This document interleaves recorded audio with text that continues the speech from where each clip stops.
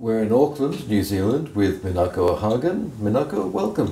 Thank you, Anthony. Tell us, what do you do these days in, in Auckland? Um, I relocated to Auckland from Dublin September last year, 2016. So I'm still in induction mode, so to speak. Yes, I was. I lived in New Zealand before, but I was away for 15 years, away Okay. from New Zealand. So I'm kind of, uh, yeah, readjusting myself. Okay. You're in a translation department here, or what? What? What is Yes, your job? right now I'm in charge of translation studies Mhm. as part of European languages and literatures, and we are at School of Cultures, Languages and Linguistics. It's a big school, yeah, And at is translation University. at undergrad or master's level here? We only offer postgraduate Okay. degrees, yeah, Okay. yeah. Uh, and your role within that, you're teaching what particular subject? So I've only just started in February. So I'm teaching translation theory using your Mhm. book, and uh, second semester I'll be teaching CAT, computer-aided translation, Okay. and uh, community translation, community interpreting. Okay. Now, Minako, you don't look very, very um, Irish. Uh, where, where are you from originally? Okay, so I'm from Japan, uh, Okay. but my name is O'Hagan, is Uh-huh. Irish name because my husband's Ah, uh, okay. ancestor comes All from Ireland, but he is really Kiwi. Okay. So, New Zealander, right? Yes, that's Yes, right, New yes. Zealander. Yes. Yeah.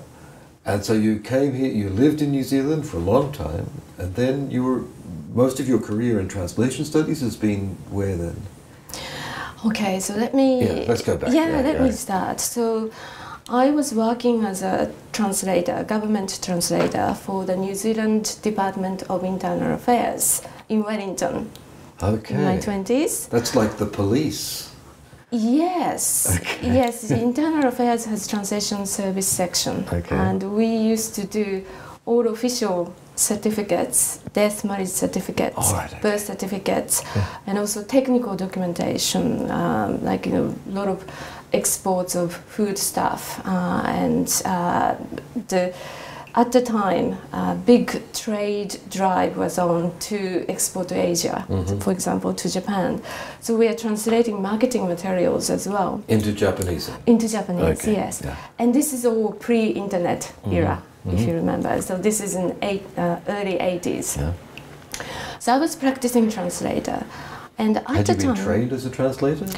I, no, I'm a um, uh, English literature graduate, and I was always interested in text Okay. writing. Good. So that was a job I landed in uh, for the yeah uh, when I started to leave New Zealand after I got married to a Kiwi guy, New Zealand guy. Uh, so so I was working there and really great introduction to this profession because I had to do all kinds of translation. How did Um, you get into academic life then? Okay, so that was a time when technology was just beginning to emerge.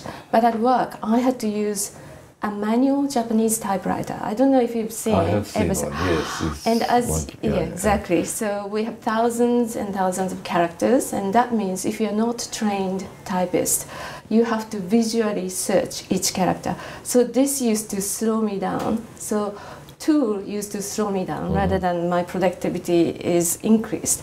So I took it to my business to really find out about technology to help my work to, to be able to translate more efficiently. So the work at the time I used to subscribe to various trade journals like I think Language International, Mhm, do you yeah, remember? Sure.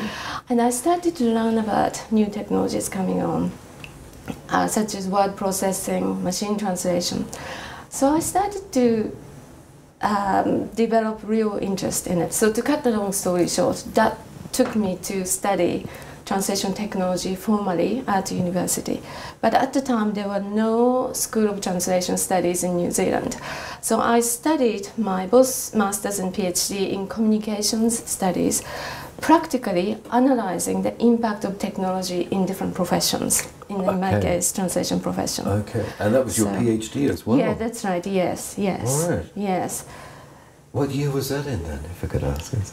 So I used systems theory Mhm. and sort of Kuhn's idea of paradigm shift, Mhm. and also sort of future forecasting using futures studies. Many people think that futures studies is to do stock market, but it's not. Mhm. It's a uh, forecasting tool that if you um, present, okay, if this, this, this conditions exist, what could happen? So Mhm. that's the kind of uh, studies uh, that I was doing. So I did PhD, and when I finished PhD, When was that? What year?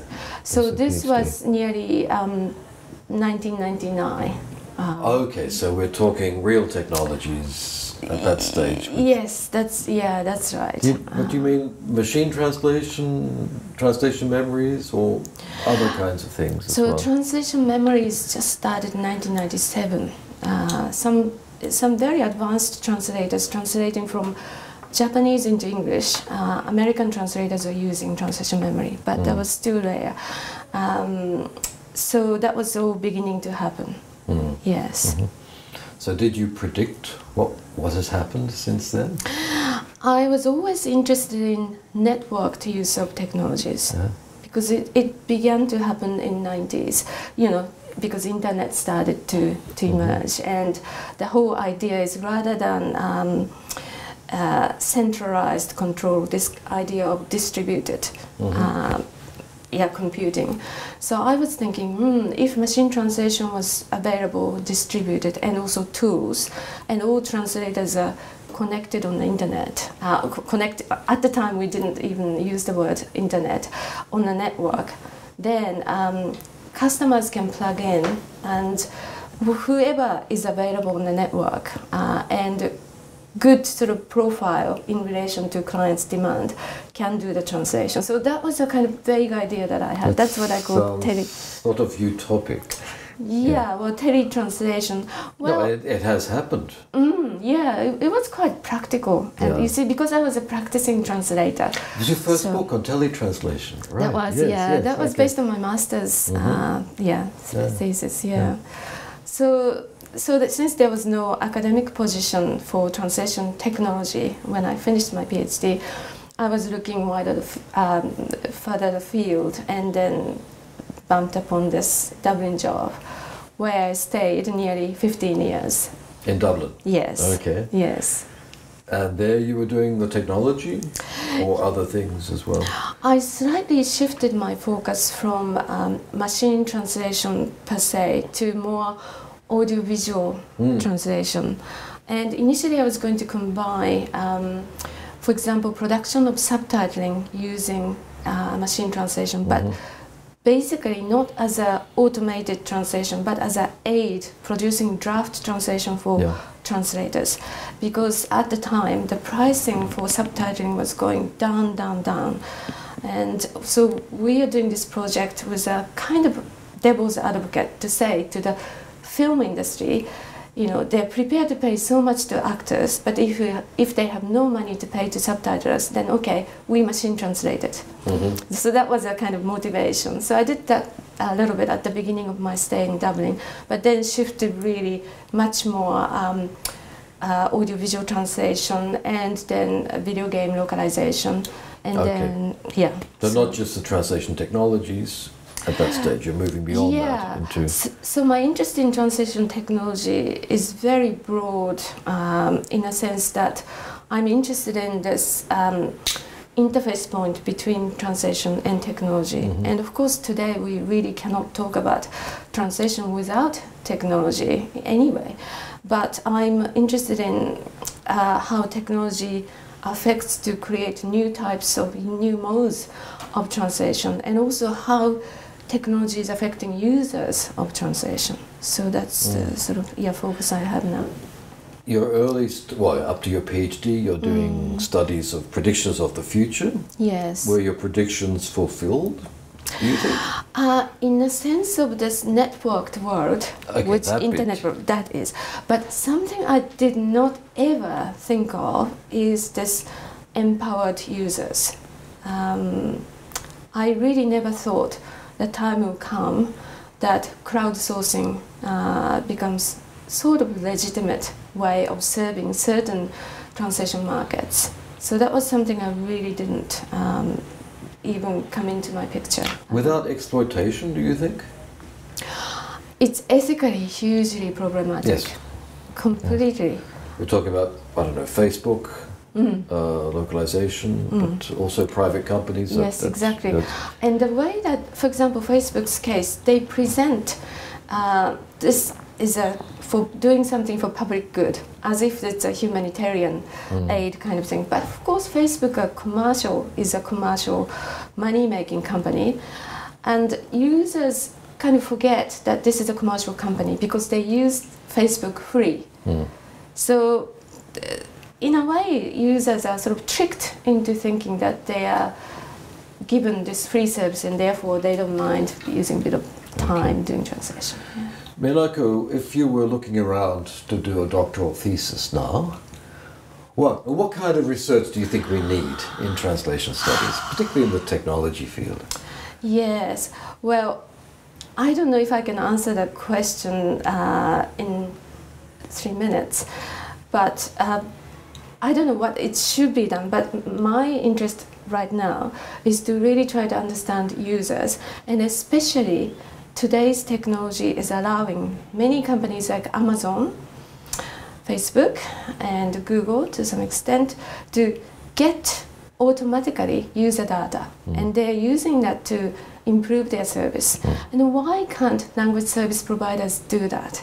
I'm really interested in collecting user data and really use that for the betterment of So the are the users the people who read translations? Correct. Okay, Yes. it's not clients, it's the end users. End users, yeah, Right, yes. But of course, getting feedback from end users um, has been always very, very difficult, very tenuous link. And uh, work as, working as a translator, I hardly ever used to get feedback unless something is really wrong. Right, And only, I think- only negative feedback. Yeah, yes, exactly, yeah. exactly. And even today, that we are all hooked up and in a wired world, still I think it's very difficult to get user feedback automatically. For example, in gaming industry, because I do research in gaming, um, online game companies they automatically collect. Uh, gamer data, you know, when they're playing um, online games, like Mark is doing, your son Mark is doing, so they can use that data to redesign the game to make it more fun or more thrilling, etc. So I would love to kind of think of a way to do the similar thing for translation. Okay, Minako, thank you very much. Pleasure. Okay.